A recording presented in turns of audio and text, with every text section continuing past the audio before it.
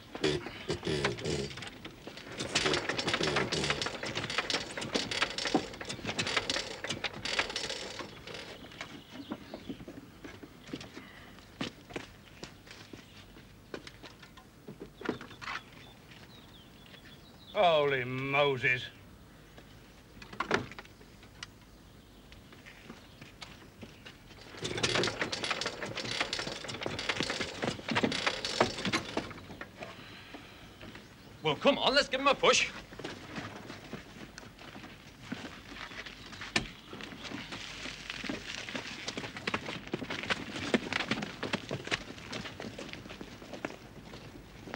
Never in my life have I come across an all this graceful contraption masquerading as a piece of engineering. Look at it. It's an absolute damn scandal how such a thing can be allowed out by mechanicians. I should be boiled alive in it. Back axles grind, the gears howl. Sounds like an avalanche of tea trays coming along. But you're all right. Yes. Right? Back to work, everyone. Come on. Come along. It's not eight o'clock yet. Come along, back to work. It's second hand. What do you expect? Second hand and French. You look at this in here. I mean, how can people sell such junk to the public? You bought it. More fool me. Fred, listen, something important. Well, I suppose I can do something with it. You're not to take on any more. No, just get it right, that's The all. doctor said you would have a motor car to get you out more, to relax. It will get me out, but first I must get it Fred, right. we do not make motor cars. We make electrical goods. At least we're trying to. And you're too valuable to crack up again. Have you eaten today? I Can't remember. Oh, my goodness. Look how this flywheel's fixed. That's appalling.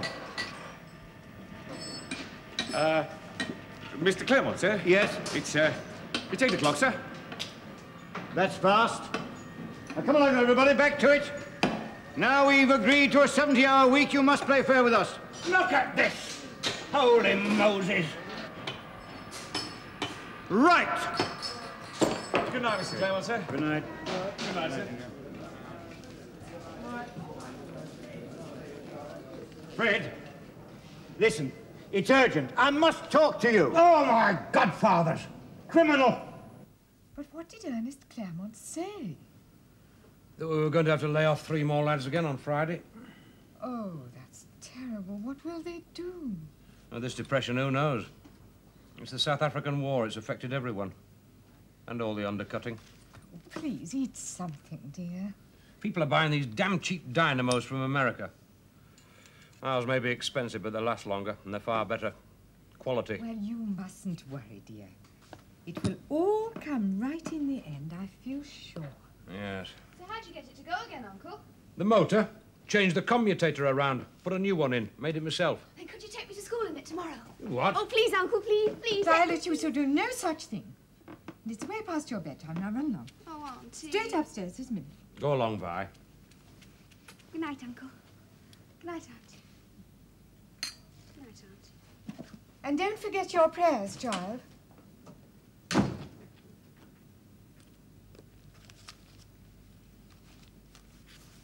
I suppose it is safe out there, dear. Hmm?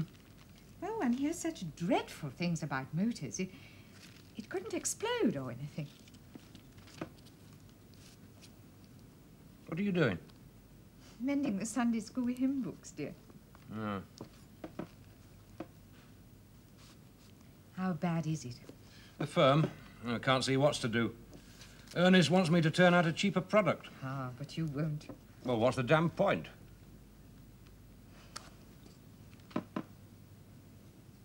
I have a great love for you, Frederick, but But? strong language is unnecessary. I'm sorry.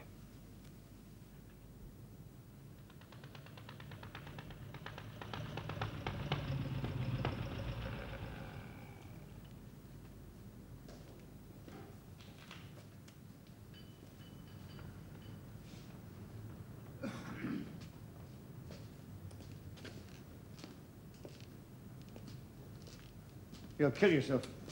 That's my lookout. Not with all of us depending on you, it isn't. Six o'clock in the morning. How long have you been at that? I'm going to make one of these. You what? These things. A motor car? Aye. But you detest them.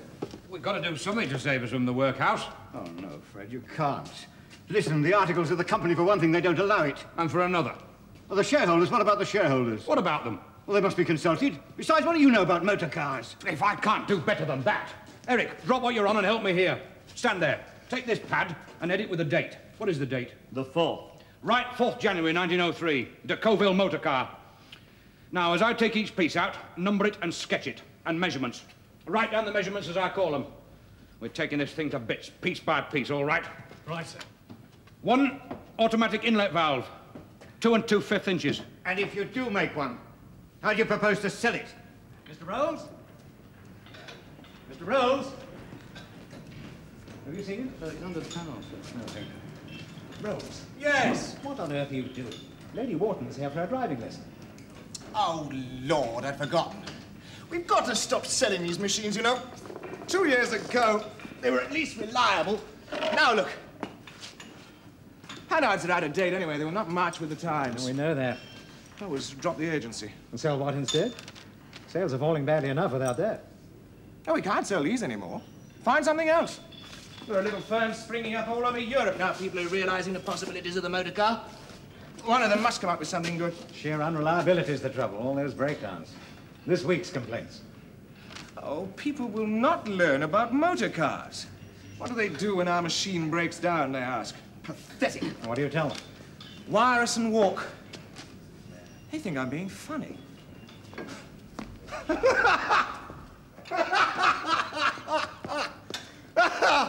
oh, it's a sobering thought, though, that we're still the most reliable garage in London. There's uh, by the way, an automobile uh, general meeting on Wednesday to discuss police persecution. Can't make it, racing. Yeah, and uh, the Self-Propelled Traffic Association are holding a motor gymkhana in Richmond Park on May the 14th. They ask if you'll speak and present the prize. Preaching to the converted. Will you go? If I'm free. Are you in town this weekend? Ballooning and Hurlingham. Oh, pity. My wife wondered if you might uh, look in for luncheon on Sunday. Well, if I balloon over your house, tell her I'll look down. yes, yes, I'll drop your little girl some humbucks. Twelve driving lessons every time one sells a car is going to send me to an early grave. I shall buy a new balloon. That'll cheer me. Rolls, you don't seem to realize just how critical our finances are. We could survive but for your ballooning and motor racing and things. Do you know what your tyre bill alone was last month? 120 pounds. I run this firm to pay for all that. Am I Well- possible? Very sharp. Good. Well, have you seen the bank balance this week?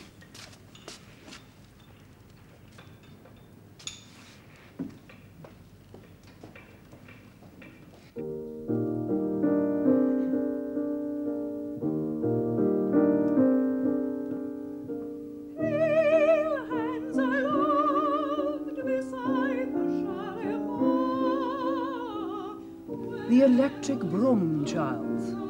People love it. It's quiet, you see, and stately. The trouble with your petroleum engines is they are noisy, dirty, and unsafe. People buy them. Oh, people, dear. You mean the duchesses? If you are going to converting them to the motorized autocar, then you must first convert the influential and the wealthy. And they are wedded through long centuries to the grace and beauty of the horse. This is what you have to replace. Yes, Mother, I know. Well, you do not seem to be doing much about it. The electric brougham can only go at five miles an hour. Oh, Charlie. That concerns you because you are a great scorcher. Charlie rolls, they say. He's reached 28 miles an hour. Well, you must make other people concerned, or ruin will follow. Yes, yes. Papa's being very decent about that. How is your overdraft? Five figures? Prince of Wales keeps weekending with us with his staff of 50. The King may visit in the spring. As your father says, we cannot afford to keep C.S. Rolls and Company and the royal family. There is a limit, my dear boy. Yes, Mother. You need something that glides, Charles. Will you consider the electric brougham? No future in them. People wouldn't agree. Petroleum spirit is for the middle classes. Think about it. I was talking to Edmunds at the Automobile Club yesterday. He's got shares in a company in Manchester, Royce Limited. They're making a car. They're electrical. Oh, are they? Yes, make dynamos. Electric carriage, that's what that would be. Oh, have you seen this? Look. The steam chariot of Chelmsford. What a monster. Horribolino. And you see these every day in Hyde Park, belching out great clouds of black smoke. Chauffeur has to stop every few miles to shovel in the coals. What are they asking for? 400. Ah! Do you know what I want above all else? Is to sell a really good car with my name on it. So that it would become a household word like Broadwood or Steinway on pianos, Chubb on safes. Cheddar on cheese. Absolutely. What?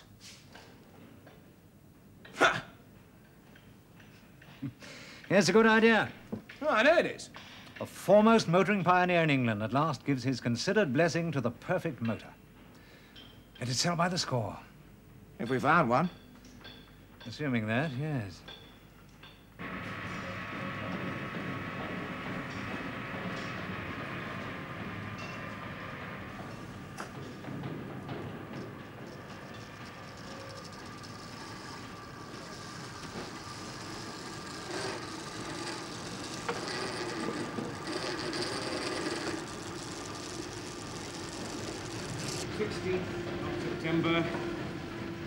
1903. Mr. Royce tests engine number 15196.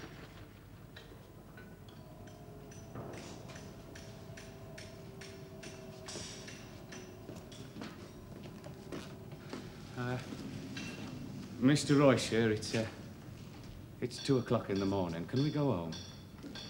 Hmm?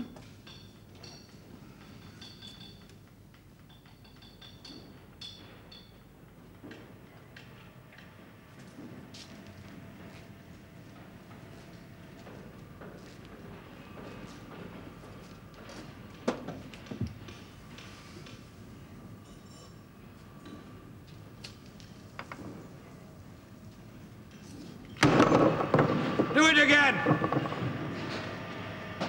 14th of December, 1903. Two and three quarter hours time. 110 volts, 30 amps, race to 120 volts, 45.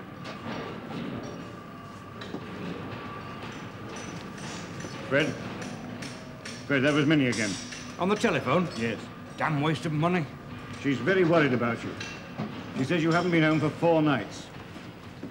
Fred, you'll crack up again.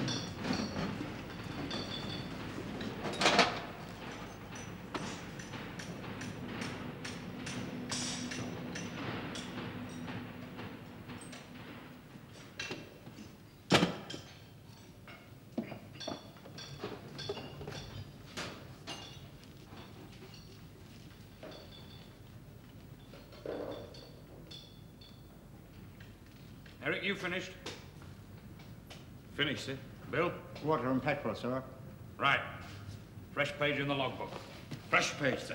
Head it, testing of completed car, and the date. What is the date? April the 1st, sir. Hell, that's not, is it? Afraid so, sir. Put March the 31st. March the 31st, 1904.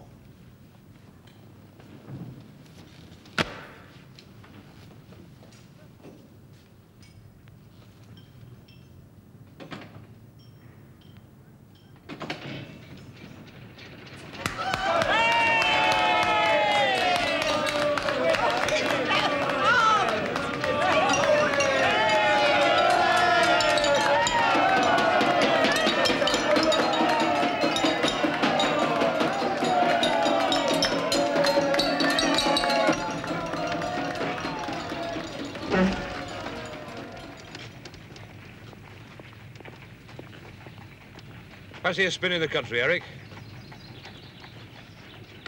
That'd be marvellous, sir. Watch them bloody dials, then. What about you, Ernest? I'll follow. In your quadricycle? For when you break down. Are we going into the motor business then, sir? If we can find someone who wants them.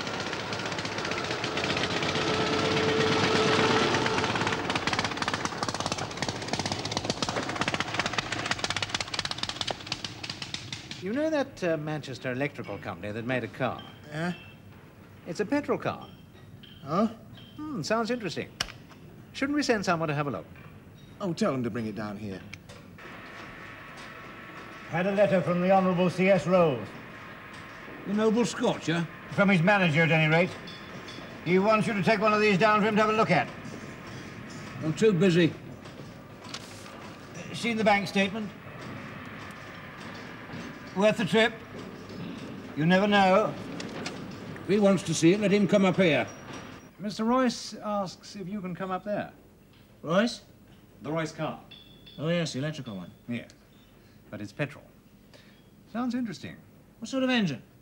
His own, a two-cylinder. Two? No good. Rattling old bone shakers. Edmunds has ridden in it. It's smooth and silent, he says. It glides.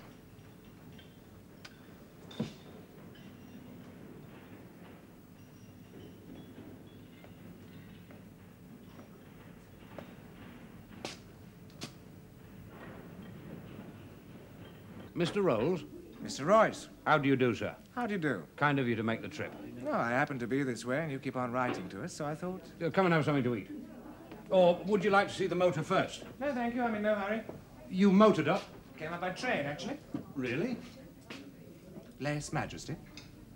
Hmm. Then What will you have? It's very good food here. No, I'm not a great eater. Oh, nor me. Do they have a salad? The hors d'oeuvre is free. Very it. Two hors d'oeuvre. Uh, yes, sir. And to follow? Nothing to follow. Oh, yes, just a minute. Something to drink? I don't drink. No, me neither. Two glasses of water.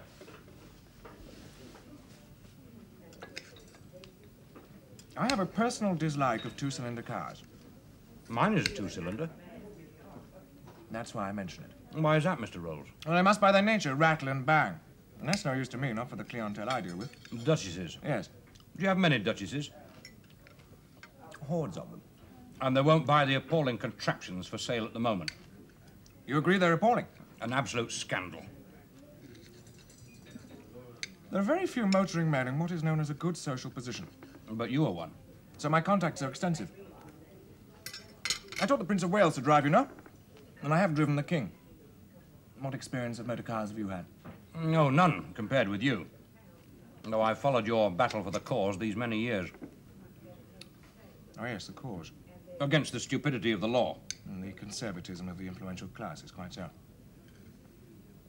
Just as long as you don't think of me as a noble scorcher. Do they call you that? We're an incredible country, you know. France has taken the motor car to her heart and benefited beyond her dreams, but England... A disgrace. You know, I was once prosecuted for not having a man with a red flag walking in front of me. And for furious driving. How fast was that? 13 miles an hour. That's England for you. A nation of horse worshippers. Absolutely. You can't control them.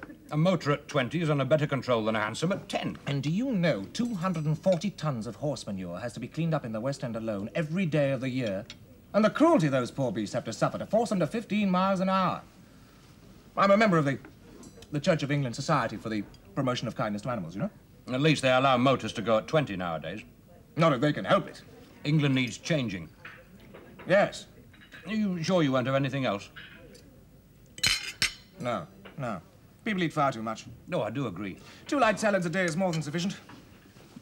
I'm a member of the Food Reform Association, you know. There is nothing more appalling than those great breakfasts that go on in our homes. Those great groaning breakfasts of porridge, cream, eggs, ham, bacon, sausages, kidneys, kedgeree, cold ptarmigan. Often I had only one slice of bread in warm milk the whole day. Yes, yes, quite so. My wife allows me two slices now, though.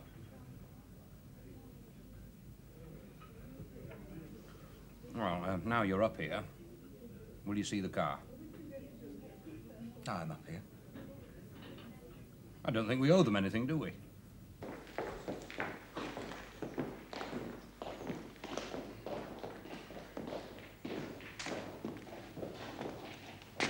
Is this it? This is it. It's a gladiator on all days. It's a Royce.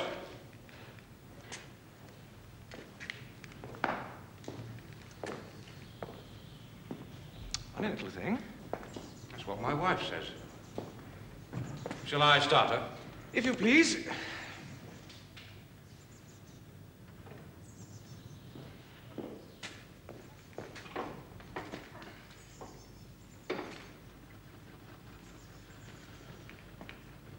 What's the matter? What? Won't she start? She's going.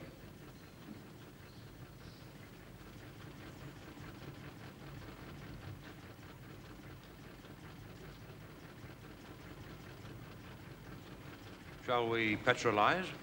How did you achieve the quiet? Horse sense. An inappropriate term, if I may say so. How many of these could you make? Well, how many do you want? Say 20? I think we might manage that.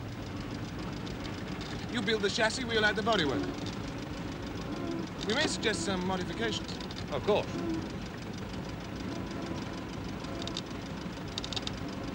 One point. You're unknown, I'm known. I think we should call the motor by both our names. How do you mean? Hyphenated. It's a sales point. You'd have no objection. I don't think so. And Royce Rolls sounds rather good. Actually, I was thinking of a different arrangement. Royce Rolls is nice on the tongue. Not so easy as Rolls Royce. I'll toss you for it. Better still, we'll compromise. Alphabetical order, what?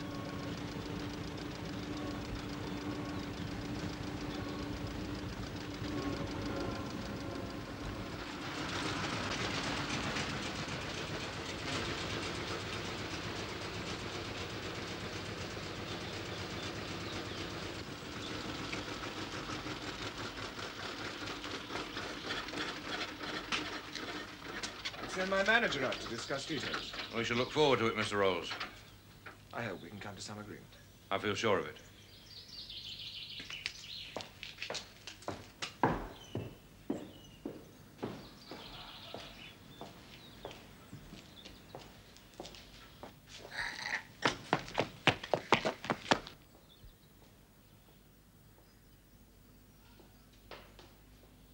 Johnson! I have found the greatest motor engineer in the world. There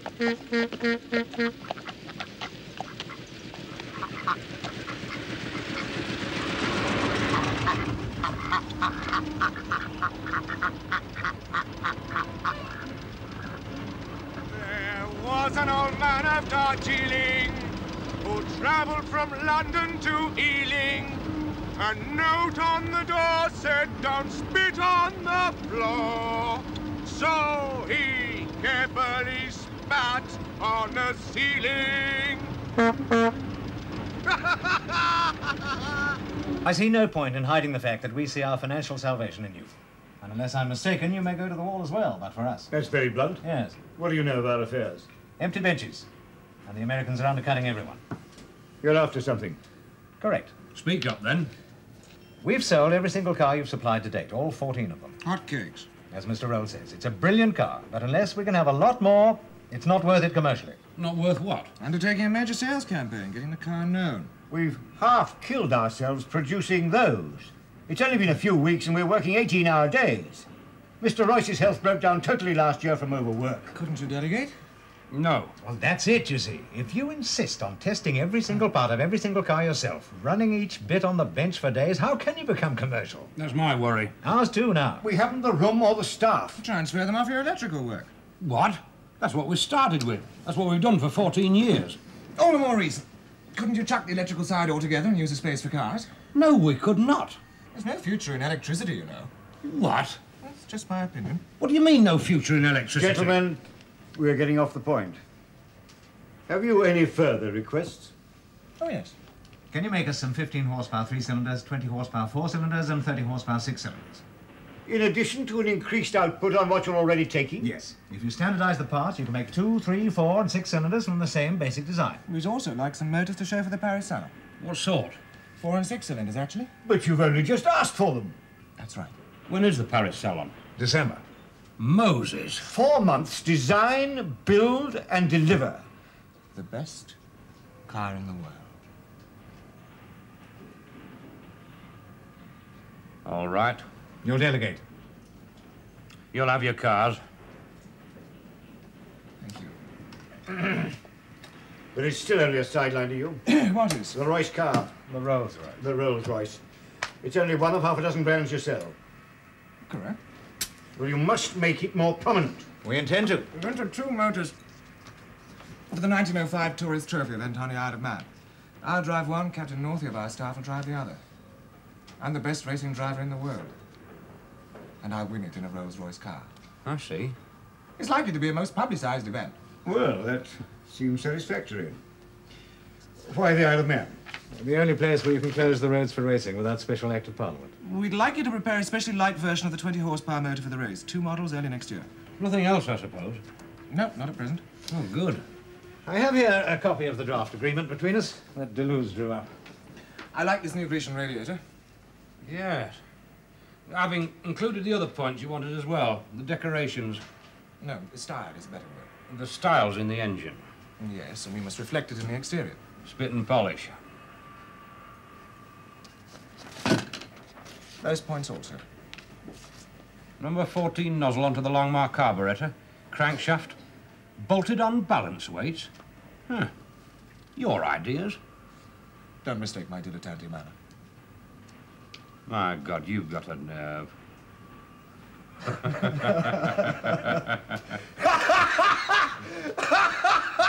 Number 10 nozzle you'll need, though. if you say so. You up for the weekend? Yes. Come to tea Sunday. Thank you. I shall be working, of course. Society is shallow. Self-indulgent, stupid. Not worth a thousandth part of the money it spends trying to amuse itself. Men change their clothes too many times, the women wear too many jewels, and everyone eats far too much. No intelligent person could survive the dreary round of weekending house parties. Even the king. The king grows bored. I thought he loved the fast set. and drums his fingers on the arm of the chair. Boredom. Boredom. All that must change. I have turned my back on it all to explore the unknown, the limits. I met the Wright brothers once. The airplane pioneers, you know. Oh, that's bunk. What? Flying is just not possible. But they've done it. They've flown. A 30-yard hop. Great Scott, it's a start! I spent half my life ballooning, I can tell you, and I... We shall stick to one thing, though, won't we? I mean, I know you're a famous balloonist, We but... cannot divide it up. We are all part of the whole thing. Ballooning, bicycling, motoring, flying. Look! We're hanging on by our fingernails, you and us, and scores of men depending on us, with no other means of livelihood, and there's a slump. You've never known what it's like to have to...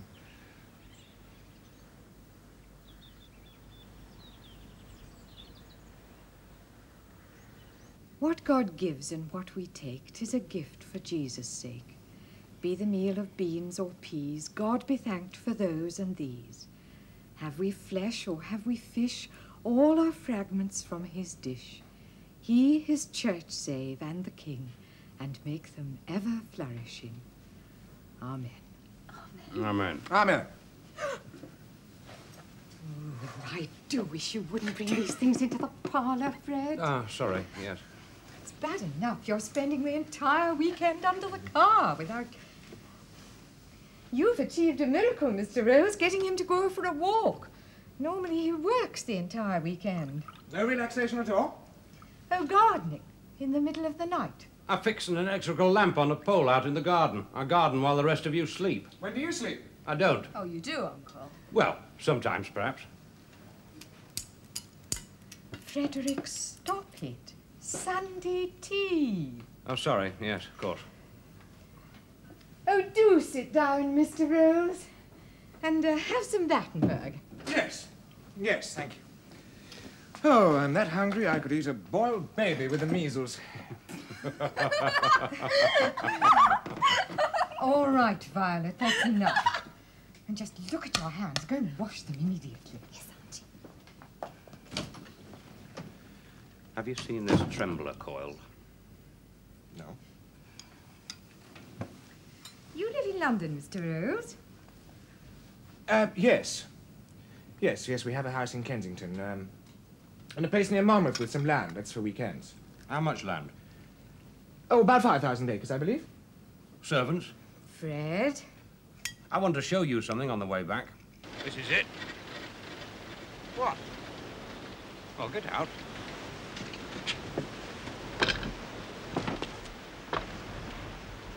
I'd run along there. I don't understand.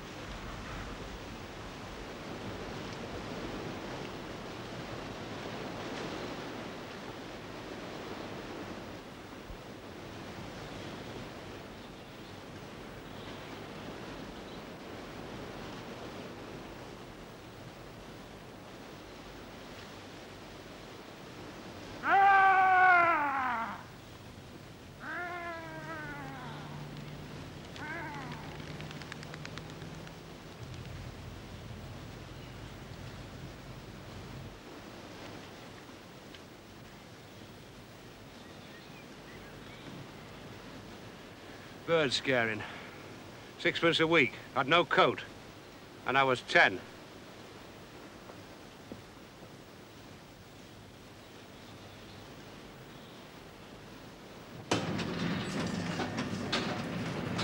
Hey?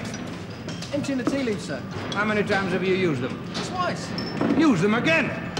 Be careful with that petrol. It's almost a shilling a gallon.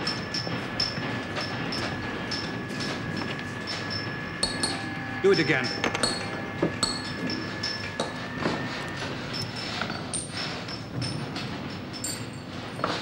What's that, Eric? Oh, it's for Mr. Claybourne's dashboard, sir. He says you've used his car so much for experiments that um, he gets embarrassed whenever he's with a client and it breaks down. If the car breaks down, please don't ask a lot of silly questions.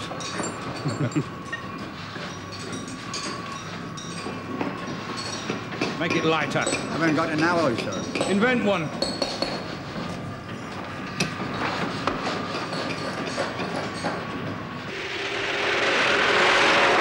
What do you make of Royce? What about him? He's brilliant, isn't he? Yes.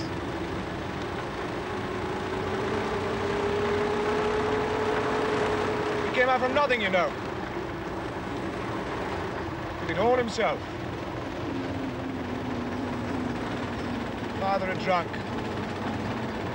Selling newspapers on street corners at the age of nine, that sort of thing. Careful of this, Ben.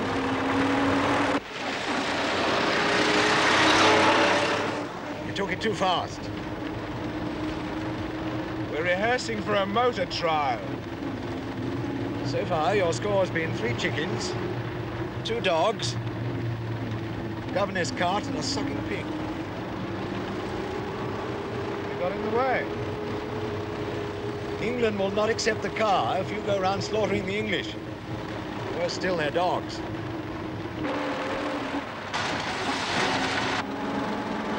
Gear ratio's wrong. Wire Royce. We'll make the gearing 14 and 3 quarters, 26 and a half, 36, 50.4. You don't deserve it. Baker? You don't deserve it. Cox? You don't deserve it. Apprentices. Beats me what they want Saturday afternoon off for. Football. Football? Waste of time. They have Christmas Day off after all. Ah, thank you. Oh, just a minute. Wait a moment, you. From Mr. Rolls. Right, and back to your benches, and there's work to be done. Speed is what'll hit the headlines. Chance to excel with everyone watching. Reliability, performance, far more important. You're dull. Dull like Royce. No spirit of adventure. Hope to God I never reach 40. Why do you do it? Racing? Cars, motor cars. I love them. You can't love an inanimate object. Can't you? Not love. Perhaps obsession. Things have got to be changed. My mother's been on to me about marriage again. Don't. No? Marry in haste. Royce's marriage must have looked like the promised land at one stage, too. He loves children. He'd have loved a son. Didn't he have any? No children at all, I mean even born? Nothing. Why are you not working? I am. You're simply idling about. Mr. Rolls doesn't pay you for that. Where is he? Not here. I can see that for myself. He has not been home for days. Lady Llangattock? Yes. My name's Royce. Oh, yes, the mechanician. My son has mentioned you.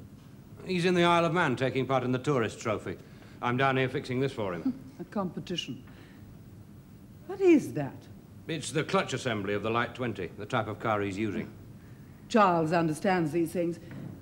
His father, Lord Llangattock, had a great deal of trouble with the clutch and gears on his motors. Uh, they are the parts that are used for climbing hills, are they not? Oh, that's right, yes. We had a very steep hill outside our country house in Monmouthshire. Our motors could not negotiate it. Seemingly it was too steep for our gears. But did you solve the problem? Oh, yes. We had the hill flattened. Ask Mr. Rolls to telephone me when he gets back, will you, Royce? Our telephone was installed today. The number is Knightsbridge 3.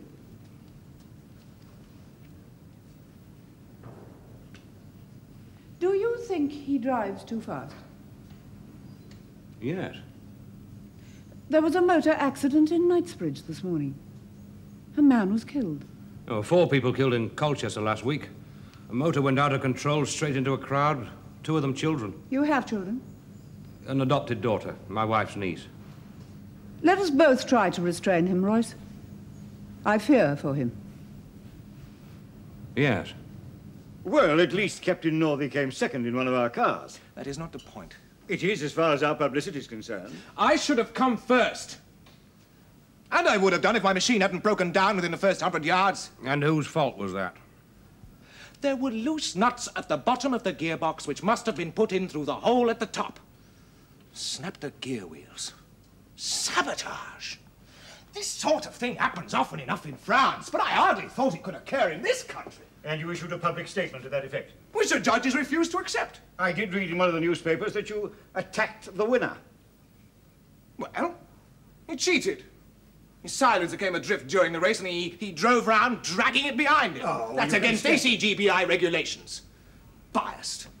Those judges are biased. What do they know about a motor car anyway? You can't get loose nuts into that gearbox. Well, then it must have been the gearbox itself. There's nothing wrong with the gearbox, it's the way you handle it. Don't you tell me how to change gears. I have owned a motor car since I was an undergraduate ten years ago, and that was one of the first four motor cars in England. I won the Thousand Miles Trial in 1900, and I've won more awards than any other driver in the world, gentleman or professional, for ten years, while you... You, you've, you've been barely at it a 12 month. The way you change gears is something chronic. I think we should concentrate on deciding what publicity we should seek next. Yes, yes, yes. Well, I've already entered for next year's TT. Not with that model. Nothing so adventurous as a new model on the way, is there? As you well know, there are two more on the way the V8 and the legal limit, though neither is exactly. The, the legal limit? The legal limit? Oh, uh, there's a, a dull, miserable concession to the Mrs. Grundys. A car which can't exceed a speed limit of 20 miles an hour no matter what. There's pandering to the bigots. Can we decide if there's anything else we can do? Nothing. I've done what I can, let down by mechanism. Mr. Rolls, how do you suggest we should celebrate Captain Northey's success? A public presentation? A champagne dinner?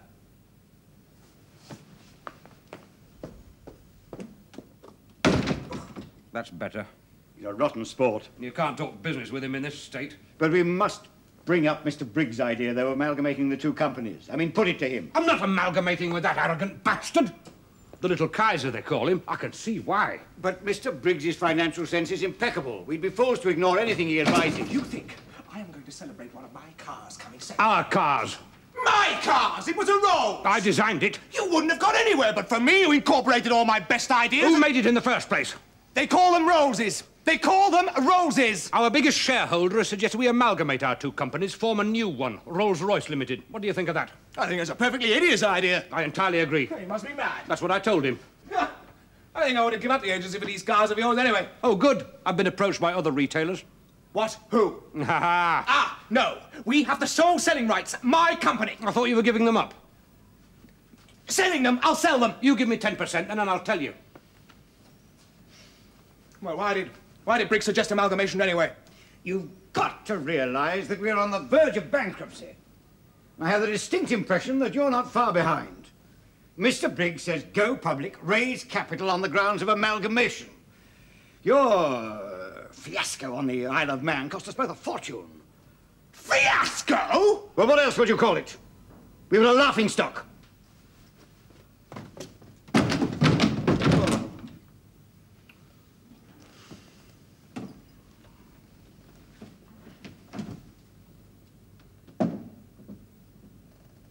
Well, suppose we let ourselves out. A cold place, this. Each member of the family has his own flat in it, did you know? Cold family. To each other as well. Two parents, four children, no real warmth to them. There is to Charlie. Not really. Hmm. Disgusting sherry. It's watered.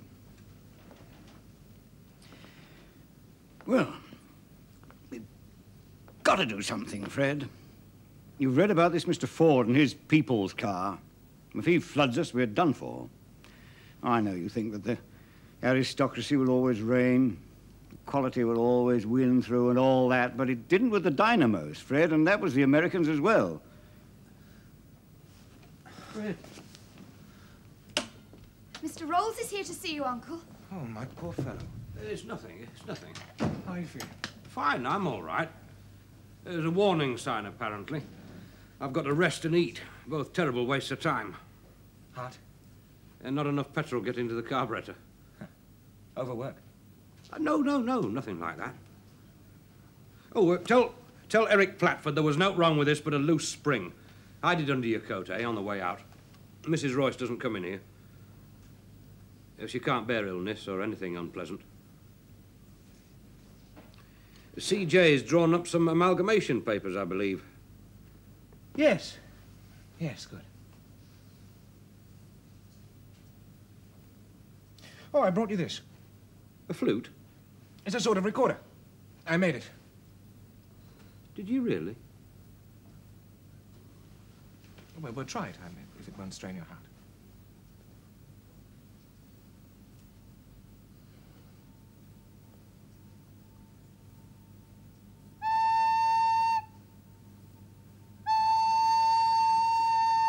Bloody disgrace!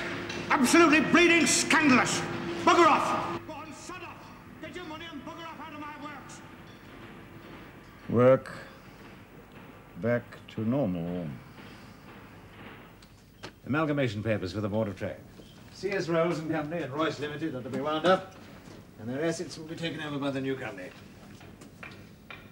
I see uh, Mr. Ford's coming over from the States for a visit. It doesn't worry us. Hmm. And uh, Charlie Jarrott set up a new record from Monte Carlo to London. Speed record, I mean. I see you've raised Owen's wages. Oh, he couldn't cope. Four pounds a week isn't He much gets for a three mechanic. pounds, twelve and sixpence. What was Jarrott's time? About 36 hours, I believe. Would that suit you? I mean, publicity? You mean if you were to...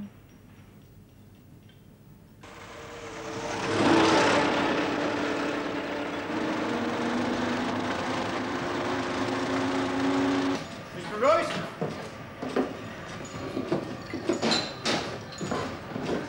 Mr. Royce.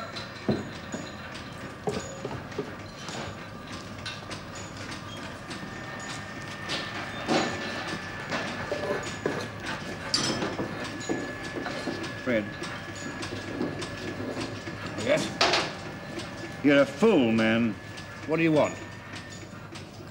Your wife to see you. Eh?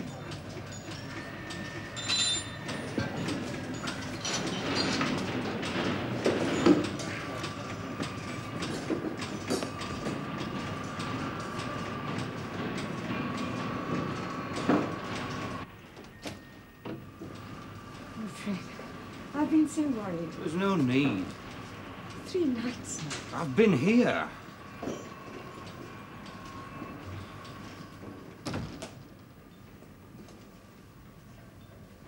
You'll kill yourself. You should never have gone back to work so soon. And Ernest Claremont says he comes in here at 5.30 in the morning to unlock, and there you'll be lying asleep over some piece of machinery or other. I'm sorry I haven't sent you word, but if you'd wanted me... But of course I want you. Of course I want you at home with me. A lot of good it does me when I am. I have a great love for you, Frederick. I've grown used to the terrible hours you work. I've had ten years of it. But at least you came home sometimes. What is it that's so absorbing this time? Oh, it's a new chassis. Something special. Shall I... Would you like the telephone put in? Oh, Fred. Well, we can cope, and then you could phone me from home. You won't have to walk to the post office or... What's been happening at home? Jim Sanderson's won the choir boys competition.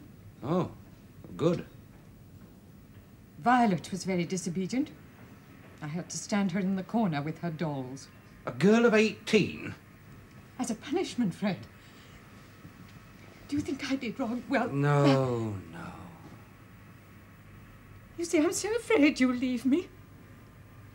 You will leave me just like Ernest Claremont left my sister, and, and that Mr. Johnson, whom I thought was so nice, left his wife. Don't be foolish.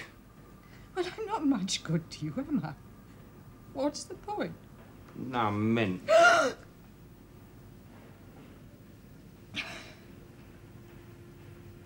You see, what. What good is that to a man? It's your hands, they're always dirty. If I was sick again... Oh, no. Oh, don't talk about that. You must go to see Dr. Campbell Thompson, but I. I don't want to know what he says. If I was sick again, would you look after me? You know I'd do anything for you, Fred. I'd do anything except that sort of thing. Please don't ask. Three years my firm's been living hand to mouth. If we don't win out now, you're going to see one hell of a lot of me. Well, I pray to God that may be so, Frederick. You see, the dreadful thing about all this is that these motor cars seem honestly to matter to you more than anything else in the world, even your own happiness. Look at you all. All broken marriages, all of you, including ours. Ah, No, including us, Fred, please. Please, let's be honest for once. But what is it? Is it really so important? it is to me. I'm sorry, I must get the works book. It's all right, we'd finished. Excuse me. I'll try and come home tonight.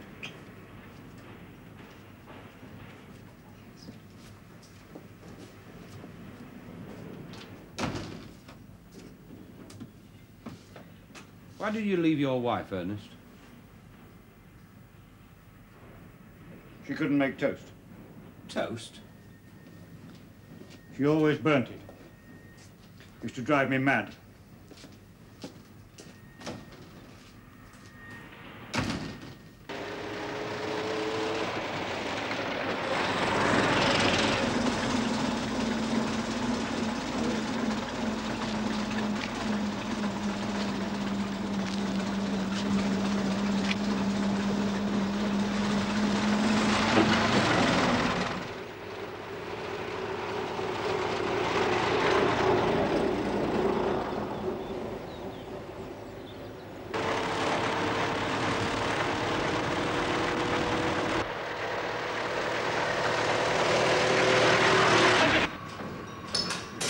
Mr. Johnson's thinking of calling this, sir? What? The six cylinder. He's having all the bodywork done in silver and calling it a silver ghost. Those sales lot are as mad as hatters. Don't do that! What's this? We'll have to make it up an alloy, sir. Uh, we couldn't afford nickel steel. That's what Mr. Claremont told you. Oh, what's the point? Why should I slave my guts out? Go on, get out. Yeah, but... Did I tell you to make it up an alloy? Go and get your money and get out of my bloody works. Fred, look, he's done it. Clipped two minutes off Charlie Jarrott's record. And how much did that cost? What? Three hundred pounds? Three hundred? He pours money away like water while we... And look at this ballooning of his. That must cost a fortune. Oh, it does. Three thousand pounds a year. And he's always crying poor. Whenever I talk to him, he's always oh, saying... that's not his personal money. Thought you realized that. That's his company's money. Is it? Is it the company's money? My company's? I fail to see your interest. I can't afford the proper tools for the job. I can't afford the proper materials for the new model or decent security for my men. Your company can't. We're as dependent on each other as if we're Siamese twins, you know that. Nonsense. If you go bust, we do too. Claremont knows it, Johnson It's knows my it. money. Good God, I've capitalized my income and sunk it into all this. Why shouldn't I do what I think is necessary? Because too many people depend on you, that's why. Because you do it for a lark. It's all the rage among your set, the balloonatics. Why, you can't even control the things. I do it because our future is up there. Balloons? Aircraft of some sort, something in the air. You and your set think nothing of taking a whole gasometer to fill one of those things. You deprive an entire town of its cooking and lighting for half the weekend. Have you seen? Have you read what the Wright brothers have done in the United States? After four years of experiment, they have built a flying machine 40 feet wide with two wings and an engine. And they fly in it and control it. They catapult it along a wooden rail up into the air. They can make it circle, bank, make figures of eight, fly for half an hour at almost 40 miles an hour. Think of it! That's our future. That's the next logical step. Aircraft. And that means meticulous preparation now in balloons. We must find our way about the skies as we've already done on land. These, these will be obsolete in a few years. People will be going to work by flying machine. But we haven't perfected these yet. The whole world is buckling and changing its shape while we look at it. We've got to keep up, keep abreast of what's happening. There's no time to perfect everything anymore before you pass on. That's Victorian. Victorian? What do you mean? Victorian? What's that supposed to mean? Don't you realize they have petrol engines? Eh? The flying machines work on petrol. And the problem that held them up for so long was getting an, an engine light enough to be practicable. Precisely the problem that you solved with the Light 20. You're not... You're not suggesting... Think of it! To be able to reach almost any part of the Empire in a few hours, the king will be cock-a-hoop. Are you seriously suggesting we should go in for these string and paper contraptions? We should do more than that. We should plan to drop these altogether. It's lucky I know you. I was never more serious in my life. As you were with the bicycle, then the motor car, then ballooning, now aircraft. None of them mastered. Just hop, hop from one to the next. Amateur, dilettante. The same thing when you tire of flying machines. What'll it be then? Rockets? Rockets. No, forget that. I didn't say that. What about my men? And all the others depending on you, eh? We've got to expand. Terrifying gamble though it is. I know that. God knows where the money's coming from, but we've got to go public and open the new factory at Derby. New factory. New factory? We're bursting at the elbows. We can't output fast enough, and you're taking off all the working capital. And for what? Always a plotter, aren't you? The copier. Just look at the features on these machines of yours. They're dull. They're dull. They're safe and they're dull. I design cars that are robust, trouble-free, long-lived, smooth-running, and silent, and that's something I'm not ashamed of. Not one of these features is original. Not one. They're all copied from. Adapted. Adapted there. Adapted and improved upon. I never claimed anything else. You've I'm no a mechanic. There, you've no real style. What's the matter? Nothing. Nothing. You ought to be at home in bed. You heard about Johnson? And his wife, yes, yes, I have. I came in here, he was crying. I'm all right.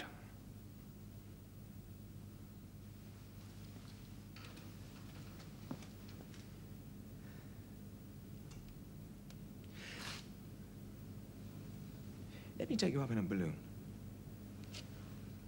Never in a thousand years.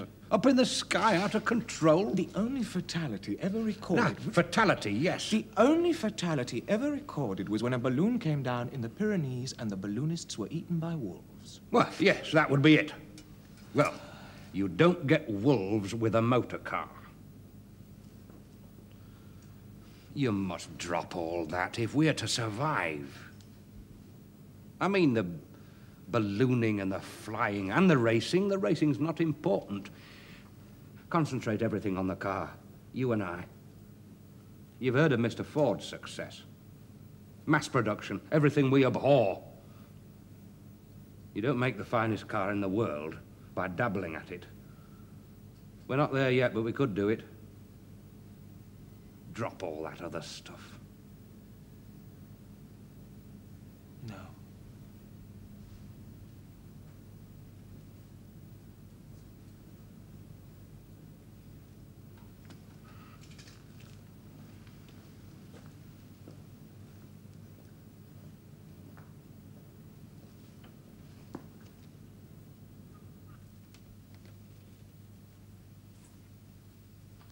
Fred?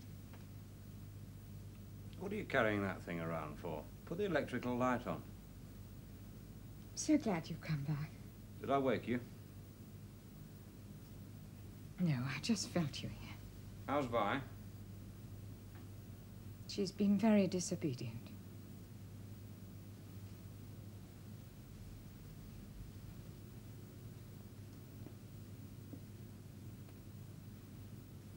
What is it? You didn't want me to tell you. Been to see the doctor. It doesn't matter. Anyhow, it's not that. Ernest Claremont came here looking for you. They've got Mr. Briggs to put up the rest of the money. The money you needed for the move to Derby. Mr. Briggs has written a check. Doesn't that cheer you? No.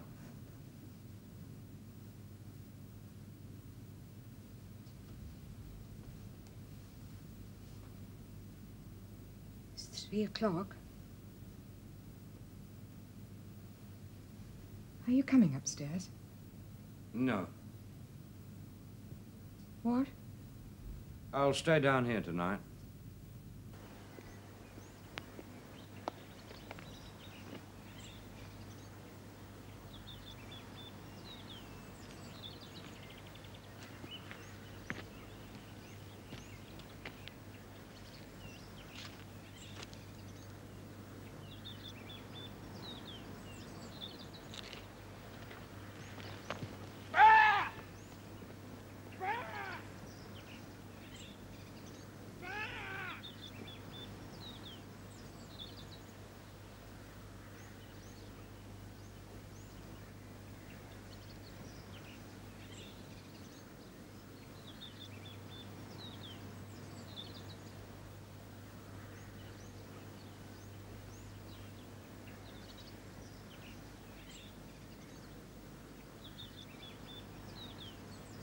Start at Douglas, then to Peel, Ballaugh, Sulby, Ramsey, over Snaefell, back to Douglas. 161 miles, and they do it four times round. Fuel is rationed to one gallon per 22.54 miles, and the course goes up to 1,365 feet and down to sea level. And the gradient goes up to one in seven.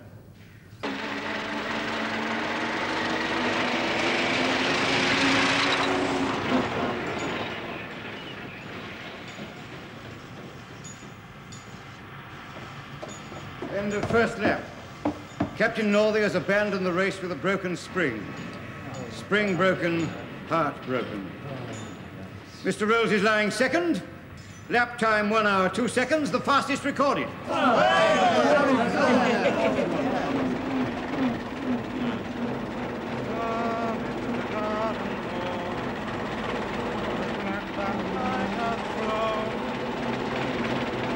I wish you wouldn't do that, sir. Do what? singing, sir. Not singing.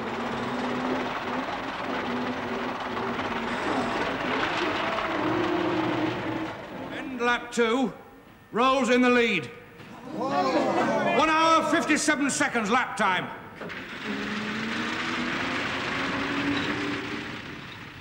End of lap three. Rolls 20 minutes in the lead. If he brings this off, we're made. He's going to run out of petrol. I'll break a spring too. Can I have a cigarette? Of course. You don't smoke. I do now.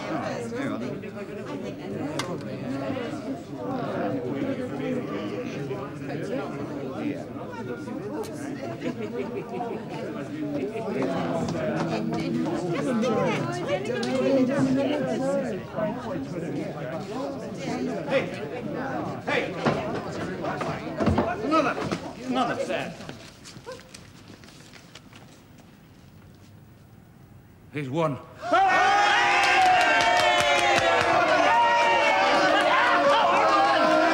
Twenty-seven minutes eh ahead of anyone else. Well done. Well done, sir. Terrific. Well, that's cars.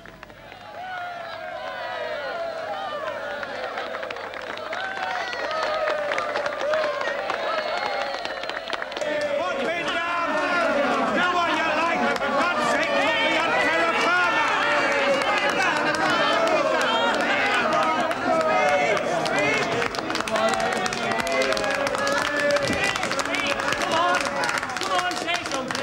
I... I can't make speeches. No, but I will say this. You can have the rest of the day off. With pay. Wait a minute! There's another telegram! Wait a minute! Ah! Here.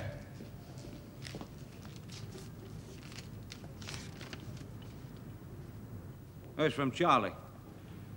I'm leaving celebrations to you, off to Paris for the Gordon Bennett balloon race.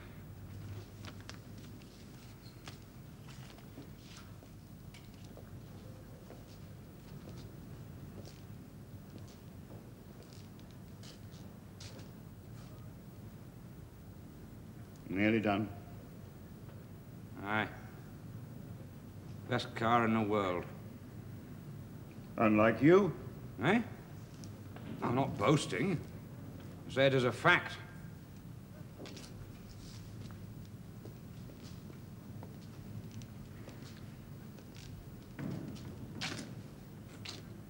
Will you be moving to Derby to be near the new works? Aye. But not Min. No? No, she'll be staying here.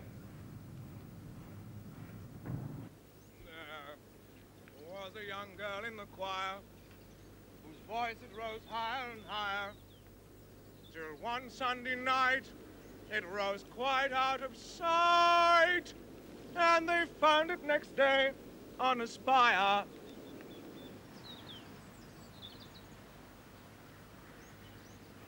How's the 4050 getting on, Fred? Ready for trial in a fortnight. Are you pleased? No. Fancy title you thought up for it. The king likes it. Who? The king, when I mentioned it to him. You know, he's uh, agreed to become patron of the Automobile Club. Gentlemen. Unfortunately, Mr. Rolls is unable to be with us at this first meeting of the Board of Rolls-Royce Limited, uh, which was yesterday registered at the Board of Trade. However, he has written to me as chairman.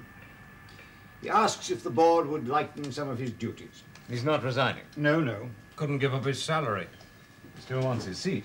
He wishes to be relieved of demonstrating the motor, giving driving lessons, and dealing with the press, but to remain technical managing director. And he's cutting his salary accordingly, of course. Oh, I don't think there's any need for that. Of course not. Well? Well, I think we have to agree if that's what he wants. Apart from the loyalty we owe him. The what? Apart from that, I say he's too valuable an asset. I mean his name. No one's indispensable.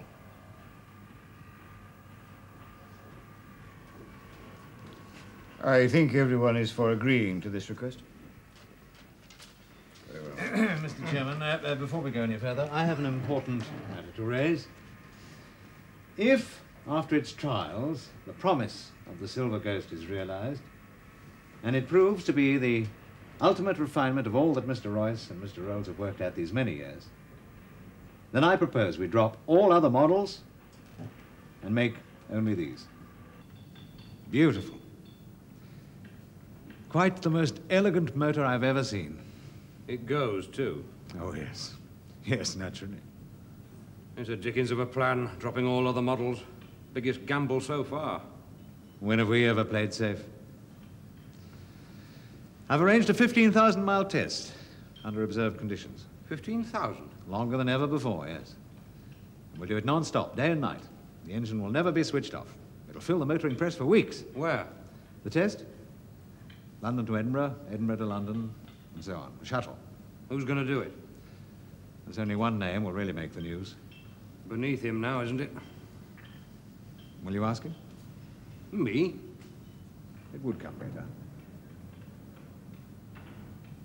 All right. He's at Eastchurch in Kent, teaching himself to fly. You must come and see the new tailpiece I put on my Short-Wright. Works beautifully. The what? My Short-Wright biplane. I've flown almost half a mile in it, you know. Once with a pig. A what? A pig. I took a pig up with me. You know that old saying about pigs not being able to fly? They have now. Wilbur Wright's flown 74 miles, you know. With a pig? He came to stay with me in town. Monsieur Blériot, too. You know? The man who flew the channel last year? Even you must have heard of him. Yes. I'm going to fly the channel myself this summer. What? Both ways. There and back. No one's ever done that before.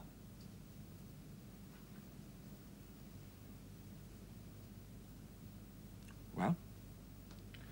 We want to put the Silver Ghost through a 15,000 mile test. Will you drive it? I haven't got the time. Well, share it then. Do part of it. A rotor. It's the last thing.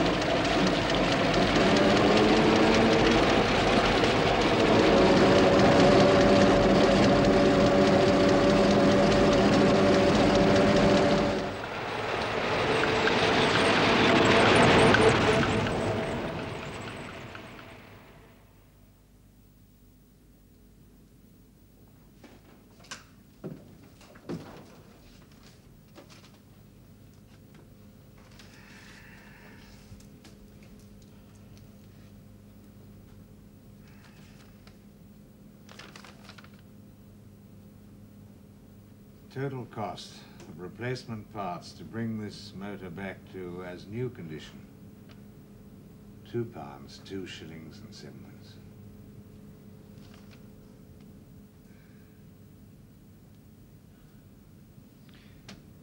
Where's Rolls? Rolls should be here. Well, I think we must all congratulate Rolls on his tremendous achievement, a double crossing of the channel. Indeed. Not every day that one finds oneself on the same board as a national hero. Yes. Who receives congratulatory telegrams from the king. Yes. Yes, that was jolly decent of him. I hear they're displaying you at Madame Tussaud's. Yes. That's because I'm the only Englishman known to have taken 10 gallons of petrol in and out of France without paying duty on it. yes, so actually, it's a terrible likeness. Have You seen it? No. Horrible, you know. Can we now take item number three on the agenda, Mr. Chairman? Mr. Rolls using the Lillie Hall Works to manufacture parts of an airship. Airship? Yes, it's in the agenda. I didn't get one.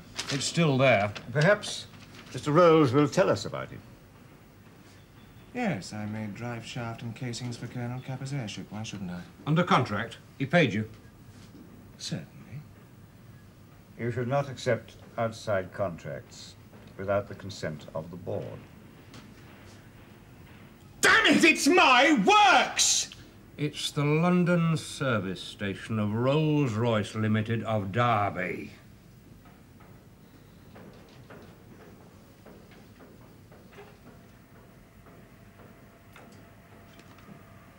That's how to resign as technical managing director of this company.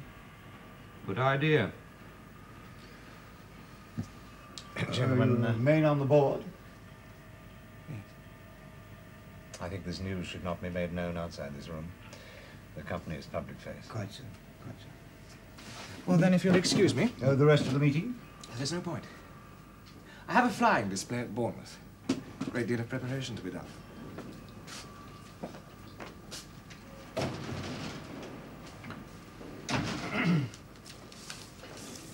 Sales report. Since the last board meeting, 53 silver ghosts have been sold. Customers include four members of foreign princely houses, two dukes, two earls, a viscount, seven British barons, 15 foreign ones, four baronets, and two high court judges. Oh, and Mrs. Pankhurst. We're now producing four ghosts a week, retailing at 985 pounds. I think that is satisfactory. For our motors, certainly. Hmm? Mr. Ford has also adopted a one model policy, the Model T. He's producing 200 a week. Need that worry us? It's the beginning of the end, whether you like it or not. We're aiming to produce 15 million cheap cars. Motoring will become a hell.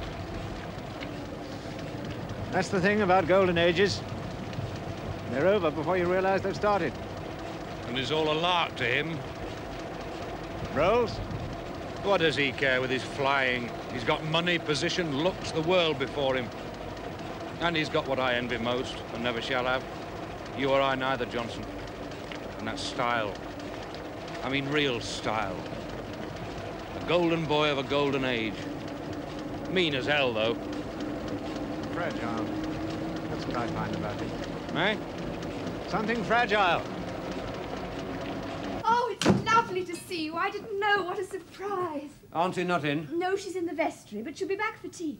You are nice. I do love you. Hey, hey, that's enough. Good gracious me. Oh, I forgot. There's a telegram for you. We were going to send it on, but the boy didn't wait. Here.